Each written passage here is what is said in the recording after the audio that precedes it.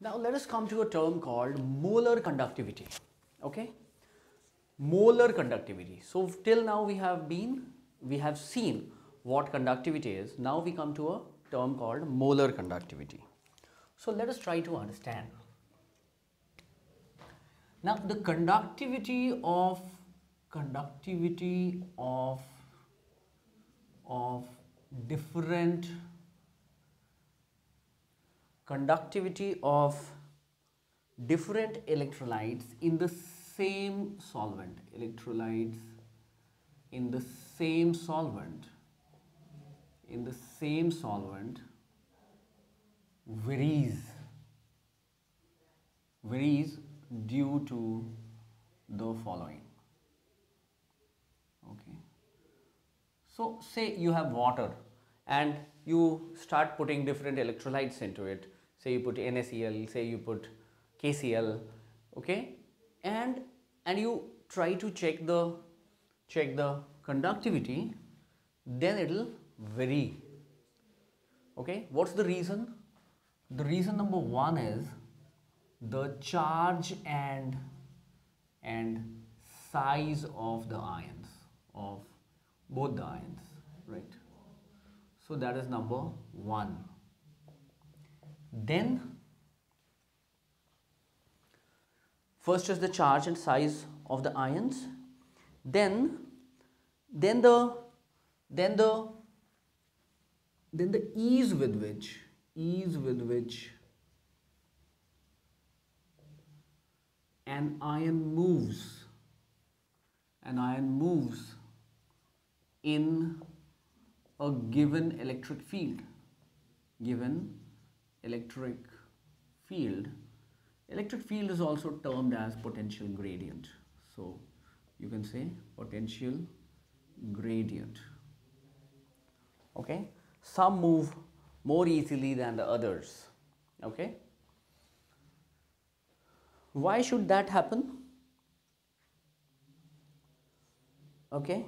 Why should that happen? We'll, we'll, we'll soon see. Then comes the concentration of the electrolyte. Concentration of the electrolyte. Okay. Now you see, you have studied this in, in physics, electrostatics. If this is an electric field and this is the charge Q, then this charge Q actually experiences a force, a force QE. Now this force QE will try to accelerate this, this charge and the acceleration is given by the Newton's second law and it becomes QE upon M. Right? So it is QE upon M.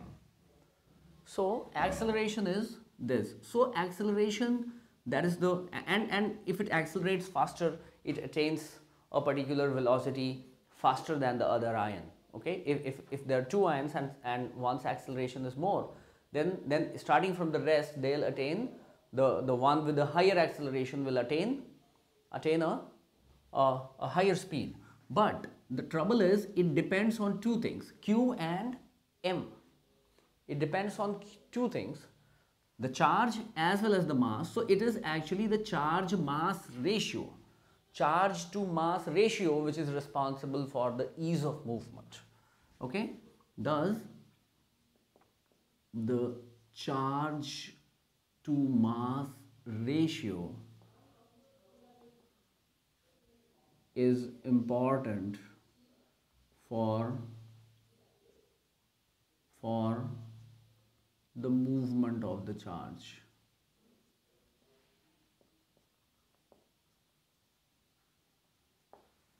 Okay, fine.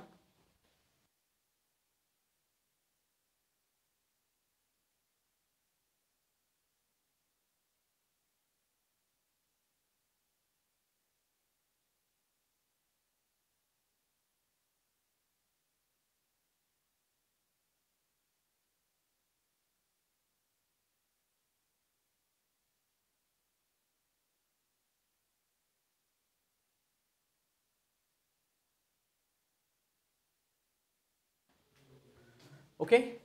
Then, then comes the concentration of the electrolyte. Okay. That also affects the affects the conductivity. So, so, so what happens is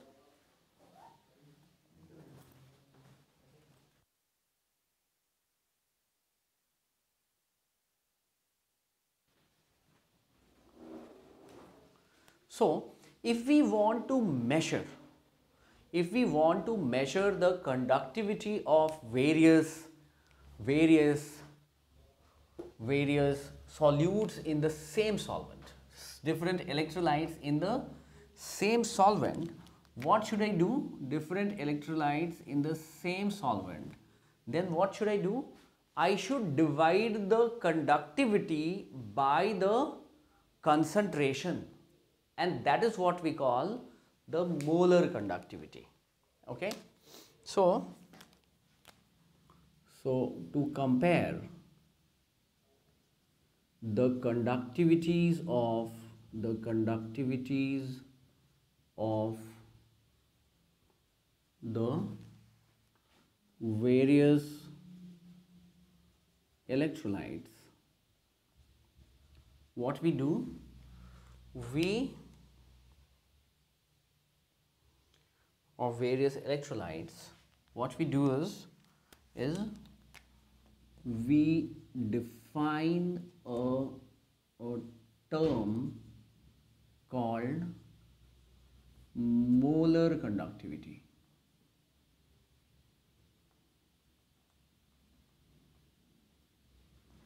Molar conductivity okay?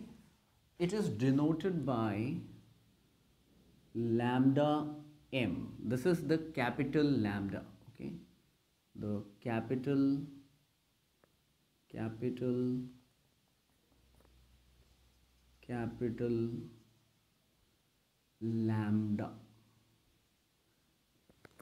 We, we, we are quite familiar with the small lambda which is written like this.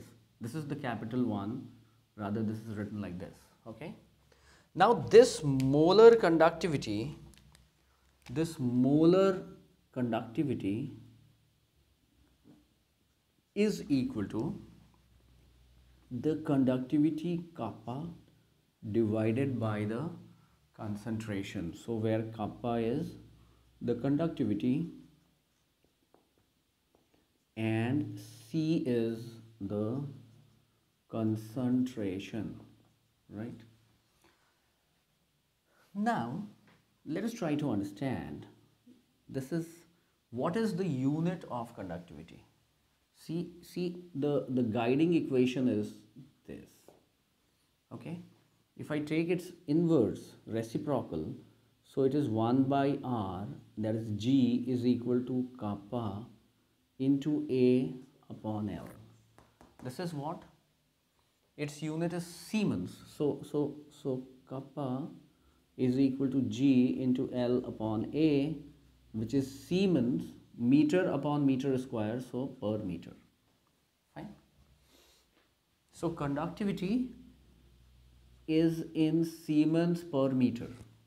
Concentration say I given mole per meter cube. Okay? So what does it become? It becomes Siemens per meter divided by mole per meter cube okay? And I'm talking about unit so do not start equating it. So unit is unit unit of lambda m is this which is Siemens per meter mole per meter cube. So it is Siemens per meter into meter cube divided by mole. So, so the unit becomes Siemens meter square per mole. Do we get that? It is Siemens meter square per mole. So, unit of lambda m lambda m is equal to Siemens Siemens meter square per mole, right? Fine. Now, if instead of this, I want to convert it into mole per liter, how do I go about it? Let's try to understand that. Now, what is the rule for conversion from one unit into another? Okay, so so let us let us first of all do that. So so if it is one meter cube, it is equal to thousand liters, right? So if I say if I say it is it if I divide both the both the sides by by one meter cube, then it becomes 1 meter cube divided by 1 meter cube is equal to 1000 liter divided by 1 meter cube right? Now this becomes 1 1 is 1000 liter per meter cube. Do we understand? Now now try to think. If i am given 1 mole per meter cube. So so it is something like this. Per meter cube then this should become this should become 1000 liter per meter cube. This is 1 right? So i can multiply multiply anything by 1 and and this does not have any units. Let us be very clear about it so 1000 liter per meter cube into 1 mole per liter. So what does it tell me? It tells me that if I am given concentration in mole per meter cube, I, I multiplied by 1000, so it will be 1000 into that much mole per liter. So, so, so let us try to understand.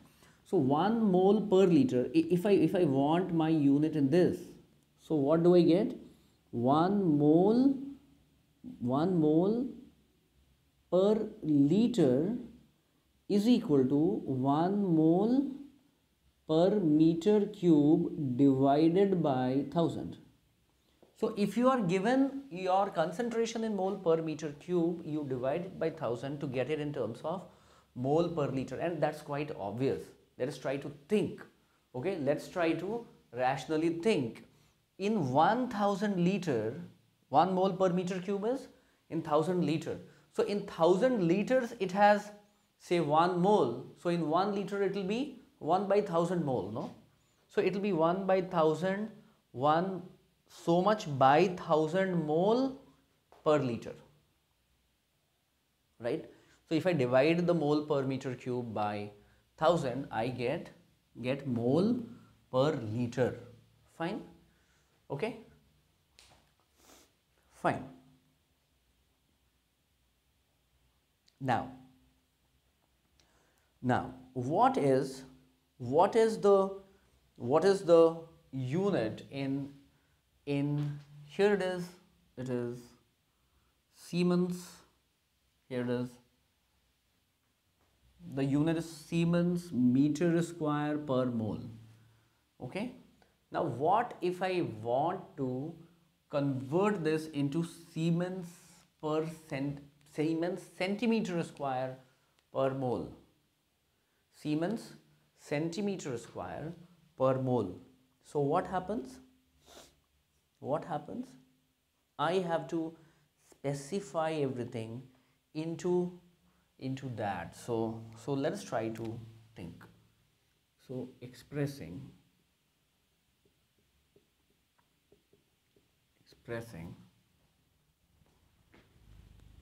molar conductivity in Siemens centimeter square per mole. Okay? Now maybe I am given the concentration in mole per liter. That is the molarity is it not? This is the this is this is the molarity. Okay? This thing is molarity